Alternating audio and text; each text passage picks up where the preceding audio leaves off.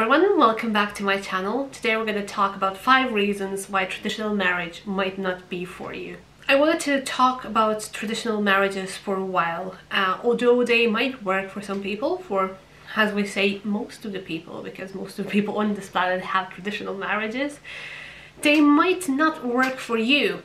If you're watching this video, I can assume that you're here uh, wondering why does it not work for you. I can tell you there's a lot of people around the globe, especially in the last hundred or so years, asking themselves the same question or worse have been judging themselves based on their inability to lead a traditional marriage. Um, I can assure you that everything in life requires revising, especially every decade or so, because the world is changing so rapidly and it is out of the question whether we should still follow the tradition up to the book or we should, you know, check the world out and see for ourselves what works and what doesn't. Uh, the worst thing which you can do is make yourself fit into something that's not cut for you. And it's like wearing a wrong shoe size. If you take the shoes that are the wrong shoe size, if they're too small or too big, it's going to be very uncomfortable for you to walk in and you might even try to pretend as if everything is alright. But imagine wearing the wrong shoe size for a couple of years. You cannot do so without things happening to you you know without hurting yourself or just basically looking stupid up to the world around you. I think that finding what works for you is much more important than fitting into the society especially because we're not on this planet to follow other people's dreams and purposes, but rather to look what's right for us. And to kind of, if you're religious, if you're spiritual, like just to fulfill our soul's needs and uh, why we're here on this planet at all. So let's move to the five reasons why traditional marriage might not be cut for you. The first one is that traditional marriage is cut only for a woman and a man exclusively. When the traditional marriage was formed and the sort of written and unwritten rules have been made, it was exclusively made for a man and for a woman. It hasn't been made for a woman or a woman. It hasn't been made for a man and a man. It hasn't been made for everything else in between. It hasn't been made for trans women, for trans men.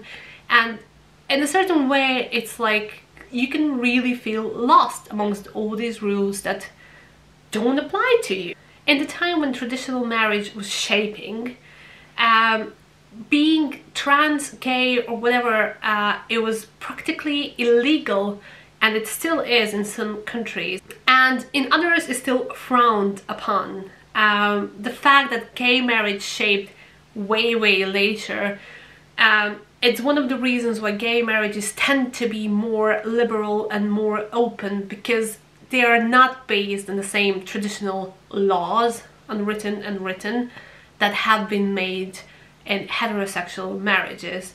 And in gay communities, polyamory and kink have been more acceptable and have shown much more acceptance uh, than the heterosexual community. Number two, traditional marriage has been shaped by religion. Uh, it all depends where you are born at but whether if that is Christianity, is Judaism, Islam or anything else the fact is the traditional marriage and the wedding vows have been based on religion it's no wonder that it's still very important to some females and to some men to form the marriage ceremony in the church and the church has basically made up this invisible and visible rules about what a traditional marriage is and what love is and what fidelity is and whatever is important and how to have a good marriage. I still know that my brother, when before he was getting married in the church, he had to go with his wife to a priest and the priest was kind of trying to explain them um, how a marriage should look like, a man that was never married. Um, it is kind of weird. It would make more sense if you would go to a therapist or something, someone more qualified to explain to you how a marriage should look like. And much has changed and we have to have in mind that some rules were there for a reason in, in the past, but that reason does not exist anymore in the modern world. Like ages ago, uh, sex before marriage was a way to make sure that the child is yours and that a wife that you're taking is uh, not pregnant and hasn't been sleeping with someone else. There were other nasty things that were like a form of tradition, like checking the sheets on the first uh, wedding night to see if your bride was a virgin. Virginity was held up very important marriage-wise and religion-wise as well, but it wasn't about exclusivity, it was about a man making sure that the progeny is truly his and that all the property he has he is leaving to this his child not some other's man uh, child. Sex before marriage was a way to disgrace your family in case you get pregnant of course or someone else figures it out. Ages ago when the first marriages were uh, made on the same rules that we should uh, oblige today women weren't allowed to vote even. and now we're trying to use the same rules um, to, to, to make our own modern traditional marriages. Um, how can this work, you might ask yourself. And I am asking myself as well. Number three, you might not be monogamous. Uh, you can be so many other things amongst polyamorous or just, you know, like a person that is not able to imagine even to spend the whole life with one person or just to sleep with one person and the entire world has made you feel bad for it but I'm telling you, it doesn't have to be bad. It all depends whether you are going to show appreciation to other people around you and not pretend that you are something that you're not and then get involved in relationships where you can't really keep up with the promises you're making.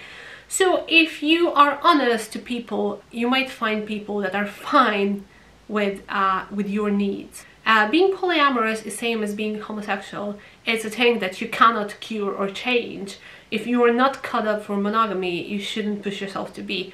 And in that scenario, you're probably gonna hurt more people than if you're being honest with who you are.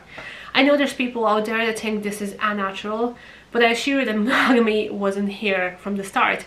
Um, if you're polyamorous, uh, monogamy might be like that wrong shoe size that I was talking about. And um, people think that monogamy uh, is a new thing and is the permanent thing, is the only thing. But there are some books that have been studying uh, history of human uh, relationships and they have found out that polyamory was more of a thing in the past than uh, monogamy. If you want to learn more about that, I suggest you read the book uh, Sex at Dawn uh, by Christopher Ryan and Cacilda Jethá. It will show you the original human relationships and how they looked like and you will see actually how monogamy found its way into the human culture and it has become the only thing. Number four, you might think that traditional marriage is not for you, but it's only that you have changed ever since you got married. So I was talking about this uh, before and I will talk about this for a long time because it's one thing that people don't understand is when you get married if you're in your 20s or 30s or whatever like 20 years after you can't expect that you're gonna be the same person that got married to your partner. And that is okay. I am gonna repeat this. If you are not the same person that married your partner, that is okay. You don't have to be and it would be very unnatural if you were. And maybe this new you requires a new partner as well. Maybe you and your wife were very close to each other when you got married and then all of a sudden you went into different ways. And now you're here trying to stay with your wife or with your husband for the sake of the marriage, for the sake of the family, for the, I don't know, for your kids, for the money, and it's not working. And I tell you, like, it's if it's not working and you tried everything, uh, it is better to go separate ways. And this doesn't mean that traditional marriage is not for you. Like, not being able to be with someone uh, ever since you get married and up to the end of your life doesn't say anything about you but you know that sometimes you have to put yourself up as a priority. And in the end this is your life and uh, you should be living it the best you can and if someone is there in your way um, it, it's fair to actually say that to that person and it's fair for you guys to go separate ways. Number five, maybe you're not good with rules. Like I know a lot of people and I'm one of them and uh, I don't like rules. I don't like to feel trapped. I don't like to feel confined and I'm never going to function really good if I feel like I am out of choices. And just having things in front of me, uh, just just to have options, it's so much uh, valuable for me. Even though I'm probably not going to touch the options, but um, I just like to have them there. And uh, having rules forced upon yourself sometimes feel it feels like you're trapped. I know there's a lot of men when they're going uh, to get married they more in the sense of freedom they have and they say oh life is over now. And i'm like thinking i was always pissed off and furious about these things. I was like i don't want my man uh, to get married to me and feel like he now can't do anything that his life is over. Like i want him to marry me because you know this is a way that we're both gonna feel better and we're both gonna feel that we can become better uh, people uh, together and that there's more options rather than less. So if the rules are the problem, maybe traditional marriage uh, is not for you because in traditional marriage there are a lot of rules and there is a lot of what is good and what is bad. So maybe try to make your own kind of marriage. Try to make your own rules and try to see how you can feel good in just being with someone and try to find a way for both of you to be happy. Personally, I am not a big fan of traditional marriage. I do value certain things, like I got engaged because because it felt good. Like it felt good to kind of promise myself to a person that I love and I will probably probably get married only because I feel that that for me means something. But being trapped and feeling as if I was not allowed to live my life is something that I have been dreading most of my life. And that's one of the reasons why I was avoiding marriage. And I have been fearing it until I have met my partner and we found a way together to make the best relationship that we can that is good for both of us. And you shouldn't feel guilty if you can't follow up the rules that have been made so many centuries ago.